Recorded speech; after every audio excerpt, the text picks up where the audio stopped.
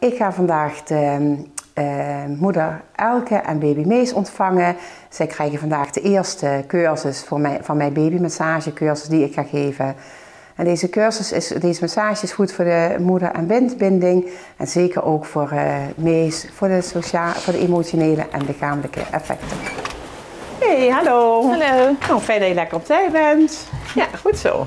Nou, er wordt nu dus onderzoek gedaan naar babymassages bij kwetsbare gezinnen, omdat het goed effect lijkt te hebben op baby's, maar ook op ouders. Uh, welke effecten vallen u op? Lichamelijke effecten zijn uh, het ontwikkelen van de, van de, uh, van de groei, de ontwikkeling sowieso een positieve bijdrage, het aanmaken van het gelukshormoon en daardoor minder stresshormoon, ontspanning van het lichaam. Daarbij is het natuurlijk helpend bij buikkrampjes, bij onrust, als baby's veel huilen, daarvoor kun je het inzetten. Emotionele is dan nog de band met de moeder en kind. Het vertrouwen wat het kind krijgt in de moeder, maar ook in de, in de wereld. En daarnaast krijgt het kind natuurlijk ook geborgenheid van de moeder of van, de, ja, van degene die het uitvoert. Ja. Daar, dat is een, uh, die is een, uh, goed voor de buik.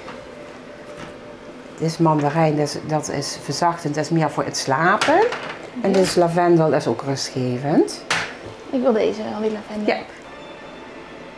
Zo? Ja, doe maar. En geef je lichte druk. Een beetje 5 seconden vasthouden. Dit uh... doen we drie keer. En dat is voor de baby fijn om te weten wat er aan de hand is. En dan ontspannen we weer terug. Dat doen we ook drie keer. Dan gaan we naar de andere kant. Doorwrijven, door. Ja. De schouder vastpakken. Werk nu dus in een algemeen ziekenhuis waar de baby's ook met een sociale indicatie opgenomen worden. Uh, die ouders hebben vaak een hele weg gehad, zitten met de handen in het haar, weten niet meer goed hoe ze het omgebogen krijgen. En daarvoor heb ik de cursus kunnen volgen, heb ik aangeboden gekregen van mijn werkgever. En tijdens de cursus uh, had ik een stagebaby waar ik de, de greep natuurlijk op ging oefenen. En die stagebaby reageerde super goed op en die moeder vond het ook heel fijn. En dat was een beetje ook de trick dat ik ging denken, oh ja, misschien is het wel ook leuk om daar een praktijk in te beginnen naast mijn werk in het uh, ziekenhuis. Ik hoop dat je het leuk vond en de meester iets aan heeft. Ja, dat denk ik wel. Hij ziet er ontspannen uit. Ja.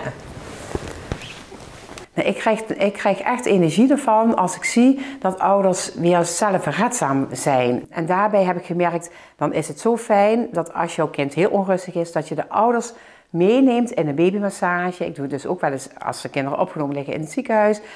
Uh, dat die ouders dan toch tools hebben om te proberen om de kind uit die onrust te krijgen.